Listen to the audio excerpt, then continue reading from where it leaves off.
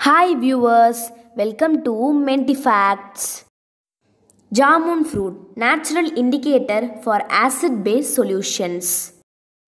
Natural plant pigment anthocyanins have the capability to change its color with the change of its structure influenced by changing pH.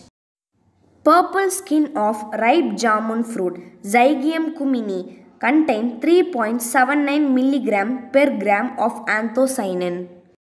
This anthocyanin pigment is used to develop a natural indicator for an acid and base solution. Extraction of anthocyanin pigment from jamun fruit. Cut the jamun fruit into small pieces. Pieces are added into hot boiling water.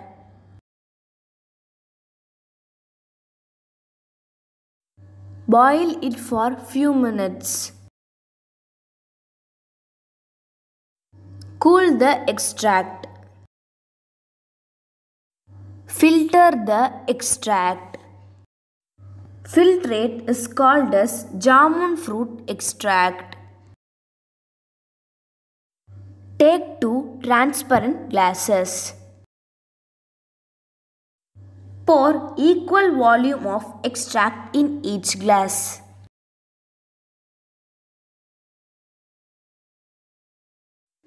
Cut the lemon into two halves. Squeeze the lemon juice in one glass. Lemon juice contains citric acid. So the extract color turn pink red to red. Then add baking soda that is sodium bicarbonate into another glass. Stir well. The color change from pink red to green. So in alkaline medium jamun fruit extract gives green color. In acidic medium it gives pink red to red color. Anthocyanin from jamun fruit extract used as a natural indicator for an acid-base solution. Thanks for watching.